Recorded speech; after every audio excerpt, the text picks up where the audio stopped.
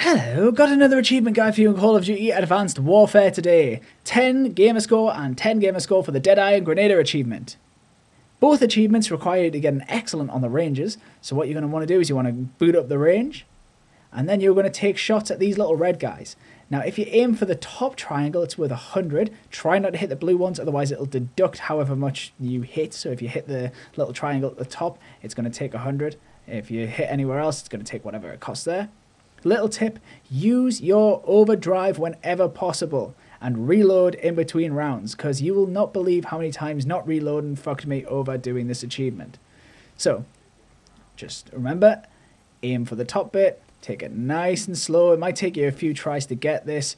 It's not that hard, but I did find it a little difficult because I'm a total spoon.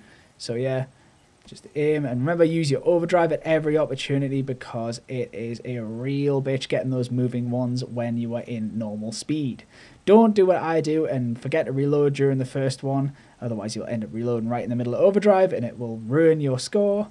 But I get lucky here. I see I just reloaded there and boom, taking the shots at the top triangle. And oh god, here we go. Oh, I got 50 there. So yeah, just keep aiming for the top and just use your overdrive and you should be alright. Yeah.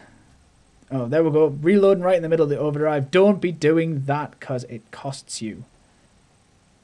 So there we go. Little Shots of the triangle. Oh, got the wrong one there. Oh, that sucked. So there we go. You see, I get a little lucky there and I get it. Deadeye, 10 game score. If you turn around, you can see the scoreboard behind you, and I don't think you need to get the top. The grenade range I thought was a little harder just because I wasn't used to the setup, but once you get used to it, it's pretty simple. So you can see I used the LB, holding it down and cycling through to get to the threat grenades, which shows these guys behind the wall. Then I'm going to use the right bumper to get the smart grenades out and take out these little targets here. Then I'm going to get my EMPs, take out the drones, and just use the smart grenades on these ones going backwards and forwards. If you hover your cursor over the the targets, then the smart grenades lock onto them and will actually go destroy them, which is very cool. And just you just gotta once you've done it a couple of times, you'll know when the enemies are about to come, and just just keep going over and over and over again. And eventually, you'll get it. It's it's pretty easy once you get used to the setup. Again, it took us quite a few times, and I don't think you need to get the top score. You just need to get excellent, which I got for a score of 1,600, I think, on this scoreboard.